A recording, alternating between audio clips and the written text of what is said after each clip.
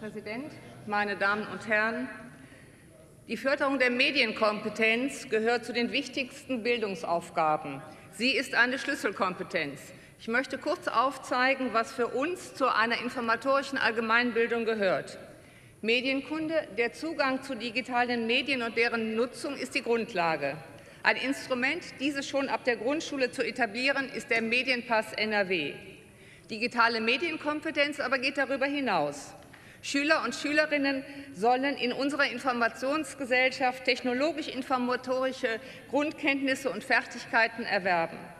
Die Verarbeitung von Daten, die zugrunde liegenden Codes und Algorithmen, die Vernetzung der Daten gehören zu einem theoretischen und praktischen Wissen, das ermöglicht, in der digital, in der, an der digital geprägten Welt teilzuhaben.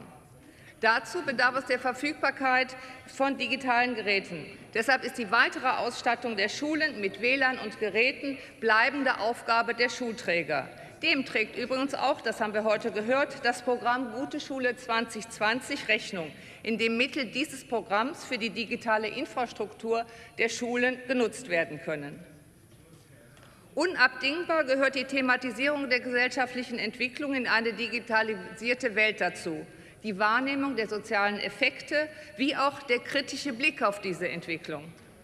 In einer Zeit, in der wir täglich Produzentinnen und Produzenten unserer medialen Botschaften sind, ist die Reflexion der Mediennutzung geboten. Medienpädagogik muss integraler Bestandteil sein. Ziel ist, dass Schülerinnen und Schüler in einer digitalisierten Welt als souveränes Ich handlungsfähig sind. Die umfassende Durchdringung unseres Lebens durch die digitale Entwicklung das gilt es in Schule aufzuzeigen, zu vermitteln, erfahrbar zu machen.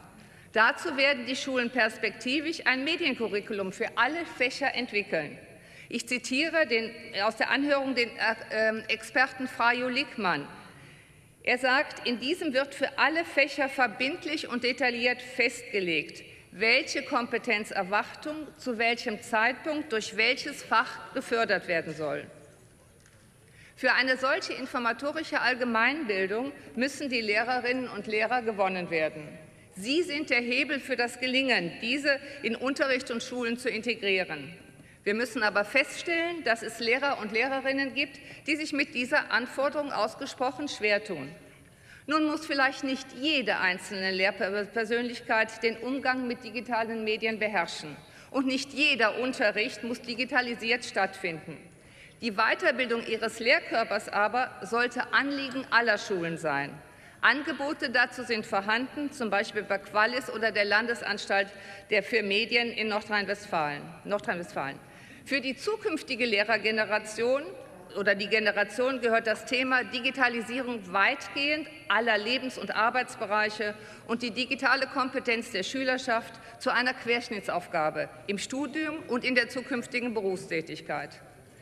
Das neue Lehrerausbildungsgesetz trägt dem Rechnung. Meine Damen und Herren, Bildung 4.0 ist für alle Kinder und Jugendliche zu fordern. Denn zur Chancengleichheit gehört heutzutage digitales Wissen und Handlungsfähigkeit dazu. Wir sagen Ja zum Leitbild digitaler Kompetenz, jedoch nicht über ein Pflichtfach Informatik, sondern über einen ganzheitlichen Ansatz als Querschnittsaufgabe und in allen Fächern. Es geht um Unterrichtsentwicklung und Schulentwicklung. Hier liegt der Schlüssel.